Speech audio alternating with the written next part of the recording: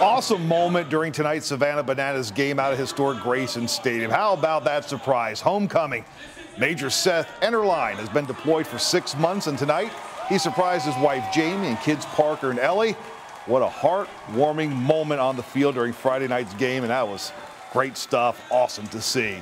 Good evening, sports fans. And I tell you what, those bananas, they have a way of pulling off big surprises. They also know how to win. The bunch opening the season Thursday night with a walk-off victory against the rival Macon Bacon. Friday night, Savannah looking to make it two in a row to start the summer as they welcome the Lexington Legends or the Lexington County Blowfish to town. Another sellout crowd on hand for this one. Blowfish pitcher Daniel Rutherford had things on lockdown in the early goings, but Savannah doing a good job of keeping the Blowfish offense at bay. Lexington County trying to steal. I stress try.